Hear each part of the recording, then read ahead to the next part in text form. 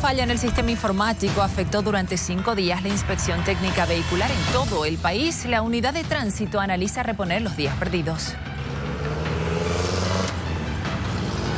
A 11 días de que se cumpla el plazo para la inspección técnica vehicular, la población acude a los diferentes puntos instalados en la ciudad.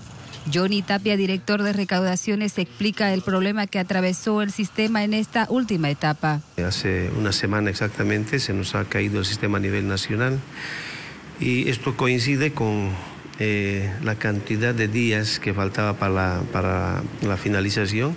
Lamentablemente el, el, ciudadano, el propietario no va a poder acceder por este tiempo a hacer la reserva. Se está valorando la posibilidad de reponer los días que hubo percance en el sistema no de ampliación de términos, sino eh, en la intención de eh, compensar los días o cuatro o cinco días que no hemos trabajado por el sistema. ¿Qué va a pasar con aquellos conductores que no realicen esta inspección? El código y reglamento establecen una sanción económica, ¿no? Es un, una multa por no asistir a la inspección correspondiente al periodo eh, actual.